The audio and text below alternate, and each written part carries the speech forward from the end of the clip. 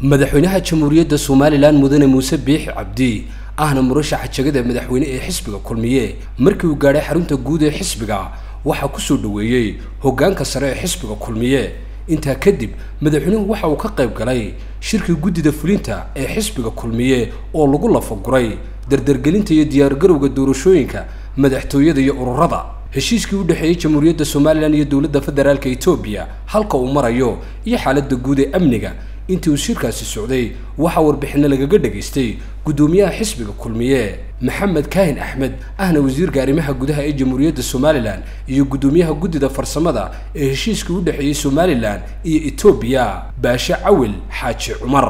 Madaxweynaha jamhuuriyadda somalilan mudane muuse biix cabdi ayaa ka warramay ujeeddada shirkan looga gol leeyahay aada iyo aad baan u faraxsanay maanta. In golihii fulinta xisbiga kulmiye halkan badankiisii joogo. Shirkeenu maanta wuxuu ku saabsanaa u diyaargarowga doorashooyinka. Xisbi ahaan ra'yayaal badan oo wax ku ool ah oo danta qaranka ah oo danta xisbiga ah oo tadabashaha doorashadana waynu ka doodnay. Waktigan imikaanu ku jiraa waa wakti doorasho.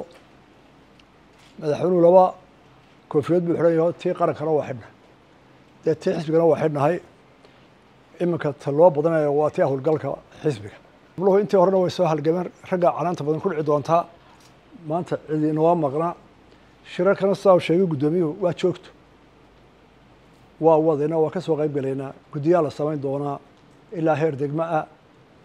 Hawshaasaa inoo bilaabantay. Xoogguna wuxuu sugnaya halkan kalsooni badanna waa qabnaa xisbi ahaan iyo xukumad ahaanba madaxweynaha jamhuuriyadda somalilan mudane muuse biix cabdi ayaa tilmaamay qorshaha lagu gelayo doorashooyinka isku sidkan ee jamhuuriyadda somalilan ka qabsoomi doona dabayaaqada sanadkan iyo waxyaabaha waajibka ah ee shacabka hor yaalla. Dalkeenu doorashooyinka maanta u gelayo saddex qodob weeye shacabka iyo axsaabtu inay isla fahmaan oynu ku galno ka koowaad waa nabadgelyada oynu gacmaha isugu geyn.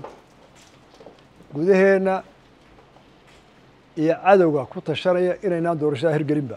Kuwaana u toogahaynaynaa horena waa ugu toogahaynay. Cadowgana ka ka warwari mayno inaynu daafacayno nabadda waxaa ku xiga qaabka uu qaranku u gelayo doorashada. Doorashooyinka waynu soo aragnay. Waa iska xanuun badan xumad bay leedahay.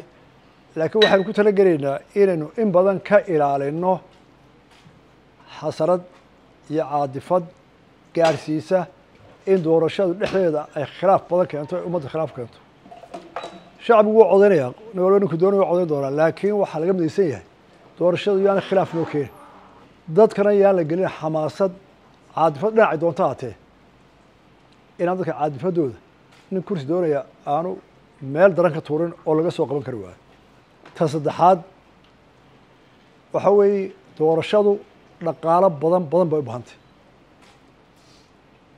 lacag sideed iyo toban milyan kor u dhaafsan baa laga rabaa dowladdu si ay u hirgeliso doorashada iyadoo xalaadaas jiraan waxaa dheer xisbiyadu dhaqaalahay u baahan doonaan iyo ururada. Waa dhaqaale ku culus qaranka oo dhan.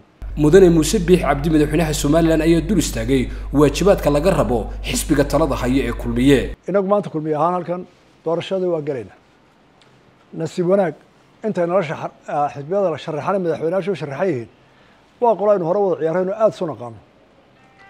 Tiim cusub oo talow maxay yeelayaa ma aha. Waxay ila tahay inaguma cusbo dadkuna waa isgaranaya murashaxiintuna waa isgaranayaan xisbiyaduna waa isgaranayaan mas'uuliyadda badan iyagay saarantay. Intii doorashadii toddobiy toddoba toddobiy tobankii ka dambeysay si dalka waxu dhaceen waxaan is leeyahay shacbigu qof wal iyo xisbi waliba sidii ugu dhaqmay iyaga xukumi doona ha ninkii u xiray iyo ninkii u hoolhoolay ninkii hagardaameyey iyo ninkii u hagar baxay. Shacabkaa qiimeyn doona. Kulmiye wuxuu ku kalsoon yahay. Intii uu hayay xukunka oo laga soo bilaabo laba kun iyo tobankii ilaa maanta inuu si buuxda oon warwar lahayn ugu guuleysan doono soo socotana. Iyo ta kale ka sii dambaysaba. Sababtu ma aha. Waayo laisweydiin maayo taa waa aya xisbiga kale ee taariikhdaa leh. Tobankii afar iyo tobankaa sane imika tani dhammaanayso ee labadii xukuumadood iyo taariikhdii hore ee dalka waa aya xisbiga taarikhtaa leh ee dalka awoodda oo qabtay marka intaa loo geeyo yaa ku dhararsan kara. Waa kuma xisbigale waan soo halgamay oo xoreyntiisa hore wax ku lahaa.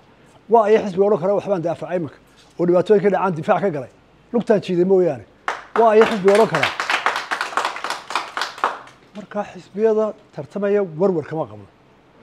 Waxaanu ballan qaadaynaa doorasho tartan hufan edeb leh tudhaalo leh oo dalka la gala ayaa kulmiye laga helaya. Madaxweynaha jamhuuriyadda somalilan ayaa yidhi natiijada oo la aqbalo.